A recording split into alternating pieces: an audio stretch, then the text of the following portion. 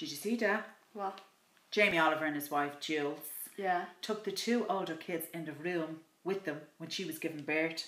Oh, that's disgusting. Now it was a water birth, but still, that's not right, is it? No. I wouldn't go for them water births anyway. Would you not? No. Do you remember Rhonda? No. Rhonda went for a water birth, right? And you have to get the pool into your house a week before your due date. Right. The kids from the road were in and out of that pool for the whole week. No way. I swear to God, calling the door and everything with your armbands on. Oh yeah, she was giving birth and there were sweet wrappers floating in the top of it. Oh, that's disgusting, so I it know. is. Oh, no. You see, I wouldn't go for any of that hippie crap. Mm. Oh, no way. No, I got all the drugs when I was having Shakira and Calvin. Mm. Gas and air, epidural, couple of spliffs.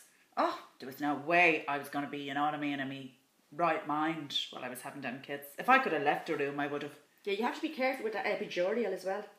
Oh yeah, a friend of mine, right? When the needle goes in, you have to stay real still. If you move, it goes wrong. No way. A friend of mine moved and she got numbed from the nose down. What? Mm. She was giving birth like this, look.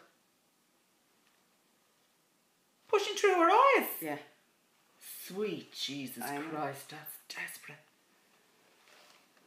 No, thank you.